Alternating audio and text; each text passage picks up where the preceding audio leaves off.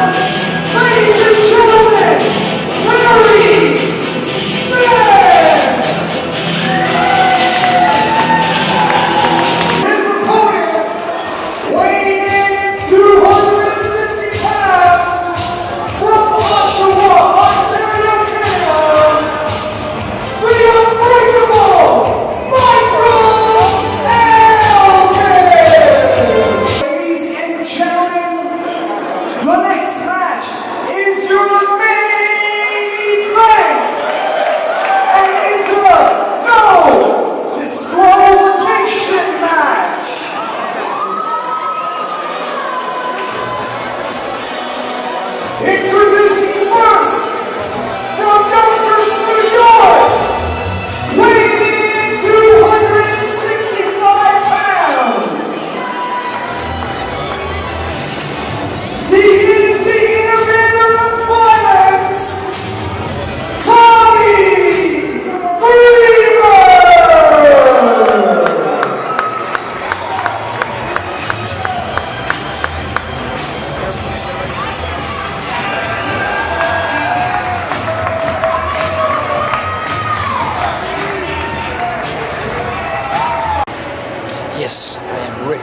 Martel. And yes, Donovan Fernandes, he has class.